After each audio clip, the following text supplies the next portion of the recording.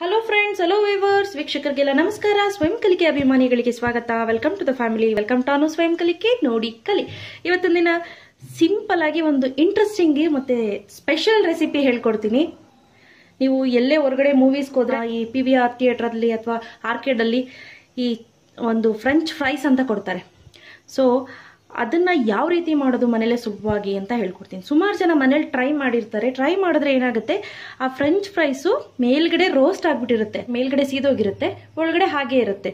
So perfect French fries ಅಂದ್ರೆ ಹೇಗಿರಬೇಕು ಅಂದ್ರೆ ಮೇಲ್ಗಡೆ ಲೈಟ್ ಆಗಿ ಗೋಲ್ಡನ್ ಬ್ರೌನ್ ಅಥವಾ ಕ್ರೀಮ್ ಬ್ರೌನ್ ಅಂತ ಏನು ಹೇಳ್ತೀವಿ, ಆ ಕಲರ್ ಬಂದಿರಬೇಕು. ಒಳಗಡೆ ಸ್ಮೂತ್ ಆಗಿರಬೇಕು.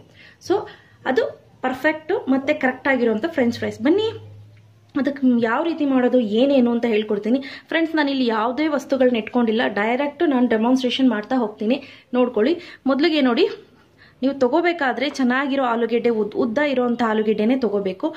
ಸೊ ತಗೊಂಡ ನಂತರ ನೀಟಾಗಿ ತೊಳೆದಿಟ್ಕೊಳ್ಳಿ. ಓಕೆ ಈಗ ತೊಳೆದಿಟ್ಕೊಂಡು ರೆಡಿಯಾಗಿದೆ ಈಗ ನಾನೇನು ಮಾಡ್ತೀನಿ? ಈ ರೀತಿ ಪೀಲ್ ಮಾಡ್ಕೊಳ್ಳೋಣ. ಅಂದರೆ, ಈ ಚರ್ಮ ಸ್ಕಿನ್ ಏನಿದೆ, ಮೇಲ್ಗಡೆ ತೊಗಟೆ ಅಂತ ಏನು ಹೇಳ್ತೀವಿ, ಅದನ್ನು ತೆಕ್ಕೊಂಡ್ಬಿಡೋಣ. ಆ ಫ್ರೆಂಡ್ಸ್ ನಾನೊಂದು ಕ್ವಶನ್ ಕೇಳಿದ್ದೆ ನಿಮಗೆ.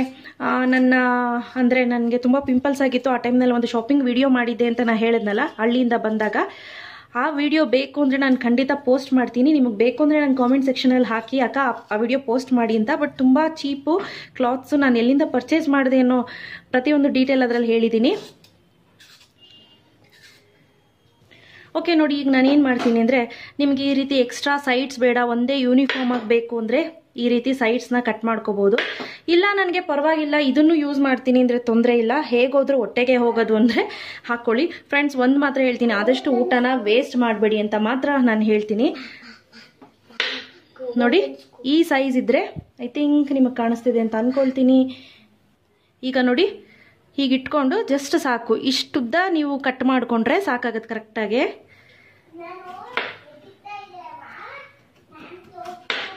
ನೋಡಿ, ಕಾಣಿಸ್ತಿದೆ ಅಲ್ಲ? ಯಾವ ಸೈಜ್ ಬೇಕು ಅಂತ?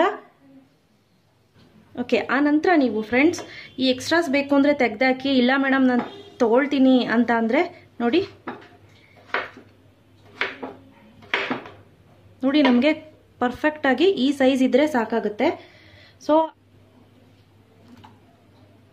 ಹಾಂ ಫ್ರೆಂಡ್ಸ್ ನಾನು ಈ ಸೈಡ್ಸ್ ಕೂಡ ಯೂಸ್ ಮಾಡ್ತಾ ಇದ್ದೀನಿ. ನಾನು ವೇಸ್ಟ್ ಮಾಡ್ತಾಳೆ ಯಾವುದನ್ನು? ಸ್ನೇಹಿತರೆ, ನೀವು ನೋಡ್ತಾ ಇರ್ಬೋದು. ಈ ಸ್ಟಾರ್ಚ್ ಏನಿದೆ, ಆ ಸ್ಟಾರ್ಚ್ ಕಂಪ್ಲೀಟಾಗಿ ಹೋಗಬೇಕು. ಈವನ್ ಕೋಲ್ಡ್ ವಾಟರಲ್ಲಿ ಕೂಡ ನೀವು ತೊಳ್ಕೊಬೋದು. ಕೋಲ್ಡ್ ವಾಟರ್ ಹಾಕೋದ್ರಿಂದ ಅದರಲ್ಲೂ ಕೂಡ ಬೇಗನೆ ಸ್ಟಾರ್ಚು ಬೇಗ ಹೋಗುತ್ತೆ. ಸೊ ನೋಡಿ, ಈ ರೀತಿ ಸ್ವಲ್ಪ ಚೆನ್ನಾಗಿ ತೊಳ್ಕೊಂಡು, ಆನಂತರ ಇಮಿಡಿಯೇಟು ಬೇರೆ ಬೌಲ್ಗೆ, ಬೇರೆ ನೀರಿಗೆ ಇದನ್ನು ಟ್ರಾನ್ಸ್ಫರ್ ಮಾಡ್ಕೊಳ್ಳೋಣ. ಏನಕ್ಕಪ್ಪ ಈ ಪ್ರೊಸೀಜರ್ ಫಾಲೋ ಮಾಡ್ತಿದ್ದೀನಿ ಅಂದರೆ, ಆ ಸ್ಟಾರ್ಚ್ ಇದ್ದರೆ ಚೆನ್ನಾಗಿ ಆಗೋದಿಲ್ಲ. ಸೊ ಇದೊಂದು ನೆನಪಲ್ಲಿ ಇಟ್ಕೋಬೇಕಾಗತ್ತೆ. ನೀವು ಸ್ಟಾರ್ಚ್ ಇದ್ದರೆ ಚೆನ್ನಾಗಿ ಬರೋದಿಲ್ಲ. ಸೊ ಈಗ ಇದನ್ನು ಚೆಲ್ಬಿಡ್ತೀನಿ ನಾನು. ಓಕೆ ಮಿನಿಮಮ್ ಅಂತ ಅಂದರು ಸ್ನೇಹಿತರೆ, ಇದನ್ನು ಆಫ್ ಆನ್ ಅವರ್ ಈ ರೀತಿ ನೆನೆ ಹಾಕಬೇಕಾಗುತ್ತೆ. ಅಟ್ಲೀಸ್ಟ್ ನೀವು ಎರಡು ಬಾರಿನಾದರೂ, ಮೂರು ಬಾರಿ ಆಗಿಲ್ಲ ಅಂದರೆ ಎರಡು ಬಾರಿನಾದರೂ ನೀವು ಇದನ್ನು ಈ ರೀತಿ ನೀರಲ್ಲಿ ಸೋಪ್ ಮಾಡಬೇಕಾಗುತ್ತೆ. ಅಷ್ಟರಲ್ಲಿ ಒಂದು ಪಕ್ಕದಲ್ಲಿ ಒಂದು ಚಿಕ್ಕ ಪಾತ್ರೆಯಲ್ಲಿ ನೀರು ಕಾಯ್ಲಿಕ್ಕೆ ಇಟ್ಕೊಳ್ತೀನಿ. ಓಕೆ ಸ್ನೇಹಿತರೆ, ಈಗ ನೀರು ಕಾಯ್ಲಿಕ್ಕೆ ಇಟ್ಟಿದ್ದೀನಿ. ಅದಕ್ಕೆ ಸ್ವಲ್ಪ ಉಪ್ಪು ಹಾಕ್ಕೊಳ್ಳೋಣ. ಸೊ ಇದು ಬಬಲ್ಸ್ ಬರಲಿ. ಅಂದರೆ ಕುದಿಯೋದು ಬೇಡ. ಕೆಳಗಡೆ ಗುಳ್ಳೆ ಗುಳ್ಳೆ ಥರ ಬರುತ್ತಲ್ಲ, ಆ ರೀತಿ ಬರಲಿ. ಅಷ್ಟು ಬಿಸಿ ಇರಬೇಕು ನಮಗೆ. ನೋಡಿ, ಈ ಉಪ್ಪಾಕಿರೋದ್ರಿಂದ ಬೊಬಲ್ಸ್ ಕೆಳಗಡೆ ನೀವು ನೋಡ್ತಾ ಇರ್ಬೋದು. ಬೇಗ ಬೊಬಲ್ಸ್ ಬರ್ತಿದೆ. ಈಗ ನಾನೇನು ಮಾಡ್ತೀನಿ, ನಾನು ನೀರಿನಿಂದ ಡೈರೆಕ್ಟ್ ತೆಗೆದು ತೆಗೆದು ಈ ಬಿಸಿನೀರಿಗೆ ಹಾಕ್ಕೊಳ್ತಾ ಇದ್ದೀನಿ. ಇದು ಆ್ಯಕ್ಚುಲಿ ನನಗೆ ಪೇಸ್ಟ್ರಿ ಮಾಡ್ಲಿಕ್ಕೆ ಬಂದಿದ್ಲಲ್ಲ, ಅದೇ ಹುಡುಗಿ ಹೇಳ್ಕೊಟ್ಟಿದ್ದು ಇದನ್ನು ಕೂಡ. ಸೊ ಅವಳ ಹೆಸರು ತಗೋಬೇಡಿ ಅಂತ ಹೇಳಿದ್ದಾರೆ. ಸಾರಿ ನಾನು ತಗೊಳ್ಳೋದಿಲ್ಲ ಅವಳ ಹೆಸರು ಕೂಡ. ಓಕೆ ಈಗಿದು ನಮಗೆ ಬೇಯೋದು ಬೇಡ. ಜಸ್ಟ್ ಒಂದು ಫೈವ್ ಮಿನಿಟ್ಸ್ ಅಷ್ಟು ಆದರೆ ಸಾಕು. ಈ ಬಿಸಿಗೆ ಈ ಮೇಲ್ಗಡೆ ಪೊಟ್ಯಾಟೊ ಏನಿದೆ, ಅದು ಸ್ವಲ್ಪ ಮೆತ್ತಗಾಗಬೇಕು. ಫ್ರೆಂಡ್ಸ್ ನಾನು ಸ್ಟವ್ ಆಫ್ ಮಾಡಿಲ್ಲ. ಐದು ನಿಮಿಷಗಳ ಕಾಲ ಮಾತ್ರ ಈ ರೀತಿ ಒಂದು ಲಿಟ್ ಕ್ಲೋಸ್ ಮಾಡ್ಕೊಳ್ಳಿ. ಫೈವ್ ಮಿನಿಟ್ಸ್ ಸಾಕು. ಓಕೆ ಸ್ನೇಹಿತರೆ, ನೀವು ನೋಡ್ತಾ ಇರ್ಬೋದು, ಚೆನ್ನಾಗಿ ನೊರೆ ಬಂದಿತ್ತು. ಈ ನೊರೆ ಏನಿದೆ, ಈ ನೊರೆ ಕಂಪ್ಲೀಟಾಗಿ ತೆಗೆದುಬಿಡಬೇಕು ನಾವು. ಈ ನೊರೆಯಿಂದಾನೇ ನಮಗೆ ಈ ಚಿಪ್ಸ್ ಏನಿದೆ, ಅದು ಒಂಥರ ಚೆನ್ನಾಗಿ ಬರೋದಿಲ್ಲ. ಸೊ ನೋಡಿ, ನೀವು ಈ ಥರ ಒಂದು ಫಿಂಗರ್ನ ಅಥವಾ ಉಗ್ರನ್ನ ಈ ರೀತಿ ಹಾಕಿದ್ರೆ ಒಳಗಡೆ ಹೋಗ್ಬೇಕು ಸಲೀಸಾಗಿ. ಸೊ ಇಷ್ಟು ಕನ್ಸಿಸ್ಟೆನ್ಸಿಲಿದ್ರೆ ಸಾಕು. ಈಗ ಸ್ನೇಹಿತರೆ, ನಾನು ಏನು ಮಾಡ್ತೀನಿ?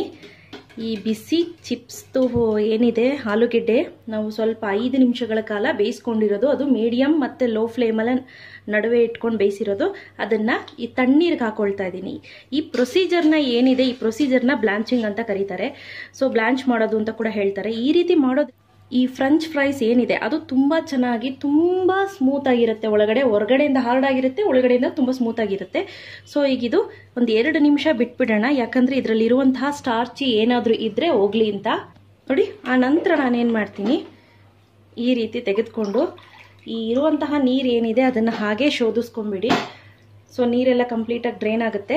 ಆ ನಂತರ ನಾವು ಇದಕ್ಕೆ ಹರಡ್ಕೊಳ್ತಾ ಬರೋಣ. ಒಂದು ಕೆಳಗಡೆ ಟ್ರೇ ಇಟ್ಕೊಂಡಿದ್ದೀನಿ, ಅದ್ರ ಮೇಲೆ ಹಾಕ್ಕೊಳ್ತಾ ಬರ್ತೀನಿ. ನೀರಿನ ಅಂಶ ಕಂಪ್ಲೀಟಾಗಿ ಹೀರೋ ತನಕ. ಸೊ ಇದೀಗಲೇ ಒಣಕೊಳ್ಳಿ ಹಾರ್ಕೊಳ್ಳಿ ಅಂತಲೂ ಹೇಳ್ಬೋದು. ಹಾಂ ಫ್ರೆಂಡ್ಸ್ ಇದನ್ನ ಹೇಗೆ ಪ್ರಿಸರ್ವ್ ಮಾಡ್ತಾರೆ ಅಂತಾನು ಕೂಡ ನಾನು ಹೇಳ್ತೀನಿ. ನೋಡಿ, ಇದನ್ನ ನಾನು ಮಾಡಿ ನಿಯರ್ಲಿ ಒಂದು ಇಪ್ಪತ್ತು ದಿನಗಳಾಗಿದೆ. ಇಪ್ಪತ್ತು ದಿನಗಳಿಂದ ಈ ರೀತಿ ಫ್ರಿಡ್ಜಲ್ಲಿ ಐಸ್ ಬಾಕ್ಸಲ್ಲಿ ಇಟ್ಟಿತ್ತು ಎತ್ತಿಟ್ಕೊಂಡಿದ್ದೀನಿ. ಇಟ್ ಒಂದು ಜಿಪ್ಲಾಕ್ ಕವರು ಯಾವುದಾದ್ರೂ ಇದ್ದರೆ ತೆಗೆದು ನೋಡಿ. ಒಂದು ಬ್ಯಾಚ್ ನಾನು ಎಣ್ಣೆಲಿ ಕರೆದಿದ್ದೀನಿ. ಒಂದು ಜಸ್ಟ್ ಒಂದ್ಸತಿ ಈಗ ಡಿಪ್ ಮಾಡಿ ತೆಗ್ದಿದ್ದೀನಿ. ಈ ರೀತಿ ಎತ್ತಿಟ್ಕೊಬೋದು. ನಿಯರ್ಲಿ ನೀವು ಆರರಿಂದ ಎಂಟು ತಿಂಗಳ ಕಾಲ, ತಿಂಗಳಗಳ ಕಾಲ ಇದನ್ನು ಆರಾಮಾಗಿ ಸ್ಟೋರ್ ಮಾಡ್ಬೋದು. ಸೊ ನೀವು ಆರಾಮಾಗಿ ಒಂದು ಆರರಿಂದ ಎಂಟು ತಿಂಗಳ ಕಾಲ ಆರಾಮಾಗಿ ಉಪಯೋಗಿಸ್ಕೋಬೋದು. ನೋಡಿ, ಈ ರೀತಿ ಪ್ರೆಸ್ ಮಾಡ್ಕೊಳ್ಳೋಣ. ತುಂಬ ಹಾರ್ಡಾಗಿ ಮಾಡ್ಲಿಕ್ಕೆ ಹೋಗ್ಬೇಡಿ. ಮಿನಿಮಮ್ ಇದು ಆರಲಿಕ್ಕೆ ಒಂದು ನಿಯರ್ಲಿ ಒಂದು ಟೆನ್ ಮಿನಿಟ್ಸ್ ಬೇಕಾಗಬಹುದು. ಓಕೆ ಸ್ನೇಹಿತರೆ, ನೀವು ನೋಡ್ತಾ ಇರ್ಬೋದು, ಇಲ್ಲಿ ಕಂಪ್ಲೀಟಾಗಿ ತೇವಾಂಶ ಒಂದು ಚೂರು ಇಲ್ದಂಗೆ ಚೆನ್ನಾಗಿದೆ. ನೀವು ನೋಡ್ತಾ ಇರ್ಬೋದು, ಹಿಂಗಂದ್ರೆ ಅಳ್ಳಾಡಬೇಕು. ಯೂಶಲಿ ನಾವು ನೀರಲ್ಲಿ ಹಾಕಿ ಸ್ವಲ್ಪ ಹೊತ್ತು ಬೇಯಿಸಲಿಲ್ಲ ಅಂದರೆ ಈ ರೀತಿ ಅಳ್ಳಾಡೋದಿಲ್ಲ. ಹಾಗೆ ಫುಲ್ ಸ್ಟಿಕ್ ಅಂದರೆ ಕಡ್ಡಿ ಥರನೇ ನಿಂತ್ಕೊಳ್ಳುತ್ತೆ. ಸೊ ಈಗ ಇದಾಗಿದೆ. ಅಷ್ಟರಲ್ಲಿ ಸೈಡಲ್ಲಿ ಕೂಡ ನಾನು ಎಣ್ಣೆ ಕಾಲಿಕ್ಕೆ ಇಟ್ಕೊಂಡಿದ್ದೀನಿ. ಓಕೆ ನೋಡಿ ಸ್ನೇಹಿತರೆ, ಹಾಕಿದ ತಕ್ಷಣ ಬೊಬಲ್ಸ್ ಬರಬೇಕು. ನೋಡಿ. ಸೊ ಈಗ ಇದಾಗಿದೆ. ಹಾಕೊಳ್ತಾ ಇದ್ದೀನಿ. ಎಣ್ಣೆ ಚೆನ್ನಾಗಿ ಕಾದಿದೆ. ಫ್ರೆಂಡ್ಸ್ ಆದಷ್ಟು ಹೈ ಫ್ಲೇಮಲ್ಲೇ ಮಾಡ್ಕೋಬೇಕು. ಇದನ್ನು ಜಸ್ಟ್ ಎರಡು ನಿಮಿಷಗಳ ಕಾಲ ಮಾತ್ರ ಟೂ ಮಿನಿಟ್ಸ್ ಅಷ್ಟೇ. ಹಾಂ ಫ್ರೆಂಡ್ಸ್ ಸ್ಟಾರ್ಟಿಂಗಲ್ಲಿ ನೀವು ಕೈಯೆಲ್ಲ ಹಾಕ್ಲಿಕ್ಕೆ ಹೋಗ್ಬಿಡಿ. ಕಚ್ಕೊಳ್ಳೋದು ಇಲ್ಲ ಫ್ರೆಂಡ್ಸ್ ಯಾವುದೇ ರೀತಿ ಭಯ ಪಡಕ್ಕೆ ಹೋಗ್ಬೇಡಿ. ಆರಾಮಾಗಿ ಸಲೀಸಾಗಿ ಬರುತ್ತಿದ್ದು ನೋಡಿ ಫ್ರೆಂಡ್ಸ್ ಆದಷ್ಟು ಹೈ ಫ್ಲೇಮಲ್ಲೇ ಇರಲಿ. ಫ್ಲೇಮ್ ಕಡಿಮೆ ಇಟ್ಕೊಳ್ಳಿಕ್ಕೆ ಹೋಗ್ಬೇಡಿ. ಹಾಂ ಫ್ರೆಂಡ್ಸ್ ಈ ಪ್ರೊಸೀಜರ್ ಫಾಲೋ ಮಾಡೋದ್ರಿಂದ ಮೇಲ್ಗಡೆ ಕ್ರಂಚಿಯಾಗಿ ಕ್ರಿಸ್ಪಿಯಾಗಿರುತ್ತೆ ಒಳಗಡೆ ಸಾಫ್ಟ್ ಆಗಿರುತ್ತೆ. ಸೊ ಇನ್ನೊಂದು ಸ್ವಲ್ಪ ಆದರೆ ಸಾಕು. ಟೂ ಮಿನಿಟ್ಸ್ ಅಷ್ಟೇ ಜಾಸ್ತಿ ಮಾಡ್ಕೊಳ್ಳಿಕ್ಕೆ ಹೋಗಬೇಡಿ ಹೈ ಫ್ಲೇಮಲ್ಲಿ ಓಕೆ ನೋಡಿ ಕರೆಕ್ಟಾಗಿ ಎರಡು ನಿಮಿಷ ಆಗಿದೆ, ತಕ್ಕೊಂಡಿದ್ದೀನಿ. ಈ ಕನ್ಸಿಸ್ಟೆನ್ಸಿಲಿದ್ದರೆ ಸಾಕಿದು ಈಗ ತೆಗೆದುಬಿಟ್ಟು ಈ ರೀತಿ ಒಂದು ಪೇಪರ್ ಟವಲ್ ಮೇಲೆ ಇಟ್ಕೊಂಡ್ರಾಯ್ತು.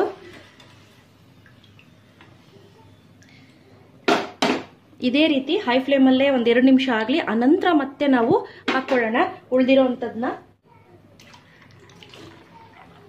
ಓಕೆ ನೋಡಿ ಸ್ನೇಹಿತರೆ ಸೆಕೆಂಡ್ ಬ್ಯಾಚ್ ಕೂಡ ರೆಡಿಯಾಗಿದೆ ಈಗ ನೋಡಿ, ಇದನ್ನು ಕೂಡ ಟ್ರಾನ್ಸ್ಫರ್ ಮಾಡ್ಕೊಳ್ತಾ ಇದ್ದೀನಿ.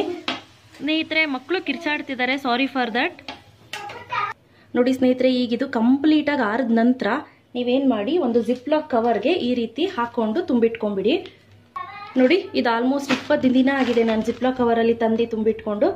ನೀವು ಯಾವಾಗ ಬೇಕಾದರೂ ಮಿನಿಮಮ್ ಆರು ತಿಂಗಳವರೆಗೂ ನೀವು ಇದನ್ನು ಧಾರಾಳವಾಗಿ ಯೂಸ್ ಮಾಡ್ಬೋದು.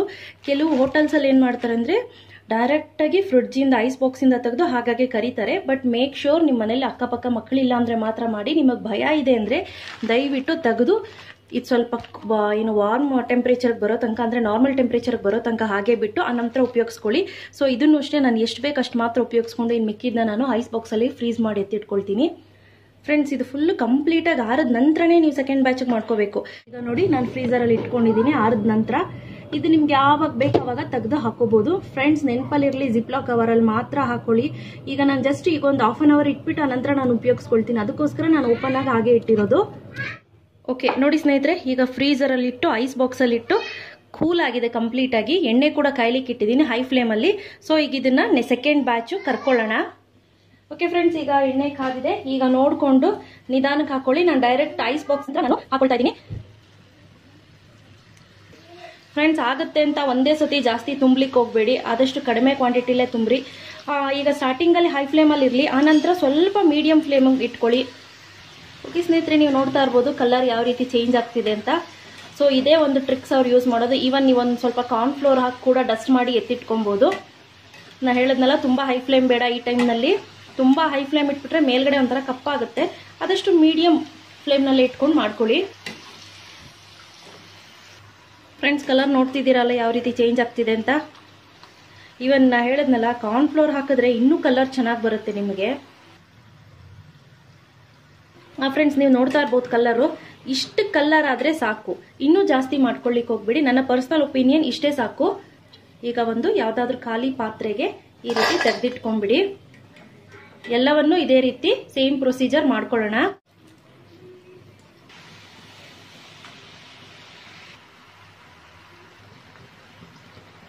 ಫ್ರೆಂಡ್ಸ್ ನಾನು ಈ ಬ್ಯಾಚ್ ಇನ್ನೊಂದು ಸ್ವಲ್ಪ ರೋಸ್ಟ್ ಮಾಡಿ ತೋರಿಸ್ತೀನಿ. ಅದು ಕೂಡ ತೋರಿಸ್ತೀನಿ ನಿಮಗೆ. ಈಗ ಫ್ರೆಂಚ್ ಫ್ರೈಸ್ ರೆಡಿಯಾಗಿದೆ ನೋಡ್ತಿದ್ದೀರಲ್ಲ, ಶಬ್ದ ಯಾವ ರೀತಿ ಇದೆ ಅಂತ. ನಾನು ಇದಕ್ಕೆ ಲೈಟಾಗಿ ಸ್ವಲ್ಪ ಉಪ್ಪು ಹಾಕ್ಕೊಳ್ಳಿ ಜಾಸ್ತಿ ಹಾಕ್ಕೊಳ್ಳಿಕ್ಕೆ ಹೋಗ್ಬೇಡಿ ಫ್ರೆಂಡ್ಸ್ ಉಪ್ಪು, ಯಾಕಂದರೆ ನಾವು ಇದು ಮಾಡಬೇಕಾದ್ರೂ ಕೂಡ ಉಪ್ಪು ಹಾಕಿದ್ವಿ. ಆಮೇಲೆ ಕೆಮ್ಮೆಣ್ಸಿನ್ಕಾಯಿ ಪುಡಿ, ಈಗ ಚಾಟ್ ಮಸಾಲ. ಈ ಚಾಟ್ ಮಸಾಲ ಹಾಕೋದ್ರಿಂದ ಚಟ್ಪಟ್ ಚೆನ್ನಾಗಿರುತ್ತೆ ಒಂಥರ. ಹಾಕ್ಬಿಟ್ಟು ಜಸ್ಟ್ ಶೇಕ್ ಮಾಡಿ ಏನ್ ಫ್ರೆಂಡ್ಸ್ ಪಿ ವಿ ಆರ್ ಅಲ್ಲೆಲ್ಲ ಕೊಡೋದು? ನಾವು ಮಾಡ್ತೀವಿ, ನೋಡಿ ಏನ್ಬೇಕು ನೀವು ಮನೇಲಿ. ಓಕೆ ಫ್ರೆಂಡ್ಸ್ ನೀವು ನೋಡ್ತಿರ್ಬೋದು ಯಾವ ರೀತಿ ಇದೆ ಅಂತ ಕಲರ್ ಟೆಕ್ಸ್ಚರ್ ಎಲ್ಲ ಕೂಡ ನೋಡಿ. ಹೊರಗಡೆಯಿಂದ ಫುಲ್ಲು ಕ್ರಿಸ್ಪಿಯಾಗಿದೆ ಒಳಗಡೆಯಿಂದ ನೋಡಿ ಜ್ಯೂಸಿ ಆಗಿದೆ. ಗೊತ್ತಾಗ್ತಿದೆಲ್ಲ ಪ್ರೆಸ್ ಮಾಡಿದ್ರೆ ಬರ್ತಿದೆ ಅದು. ಗೊತ್ತಾಗ್ತಿದೆಲ್ಲ ಎಷ್ಟು ಸಾಫ್ಟ್ ಆಗಿ, ಎಷ್ಟು ಕ್ರಿಸ್ಪಿ ಆಗಿದೆ ಅಂತ? ನೋಡಿ.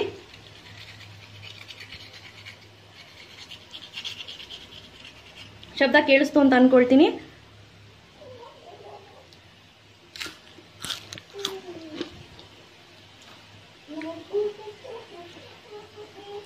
ಸೂಪರ್. ಸೂಪರ್ ಅಂದರೆ ಅಷ್ಟು ಚೆನ್ನಾಗಿದೆ. ರಶ್ಮಿ ಆಗಿದೆ. ಖಂಡಿತ ನೀವು ಒಮ್ಮೆ ಟ್ರೈ ಮಾಡಿಬಿಟ್ಟು ಹೇಗಿತ್ತು ಅಂತ ನಿಮ್ಮ ಅನಿಸಿಕೆ, ಅಭಿಪ್ರಾಯನ ನನಗೆ ತಿಳಿಸ್ಬೇಕಾಗಿ ಕೇಳ್ಕೊಳ್ತೀನಿ. ಸೊ ನೋಡಿದ್ರಿ ಅಲ್ವಾ ಫ್ರೆಂಚ್ ಫ್ರೈಸ್ ಯಾವ ರೀತಿ ಮಾಡೋದು ಅಂತ? ಇಷ್ಟ ಇವತ್ತಿನ ರೆಸಿಪಿ ಇವತ್ತು ನಾನು ಮಾಡಿದ್ದು. ಇಷ್ಟ ಆಯ್ತು ಅಂದ್ರೆ ಲೈಕ್ ಬಟನ್ ಹಿಟ್ ಮಾಡಿ, ಇನ್ನೂ ಇಷ್ಟ ಆಯ್ತು ಅಂದ್ರೆ ಶೇರ್ ಮಾಡಿ. ಗೊತ್ತಲ್ಲ ನನ್ನ ಚಾನಲ್ ಹೆಸರು ಸ್ವಯಂ ಕಲಿಕೆ? ನೋಡಿ ಕಲಿ. ಮತ್ತಷ್ಟು ಈಸಿ ಮತ್ತು ಇಂಟ್ರೆಸ್ಟಿಂಗ್ ರೆಸಿಪಿಗಾಗಿ ಅನು ಸ್ವಯಂ ಕಲಿಕೆ ಚಾನಲ್ನ ಸಬ್ಸ್ಕ್ರೈಬ್ ಆಗೋದು ಮರಿಬಾರ್ದು. ಗೊತ್ತಲ್ಲ ನನ್ನ ಚಾನಲ್ ಹೆಸರು?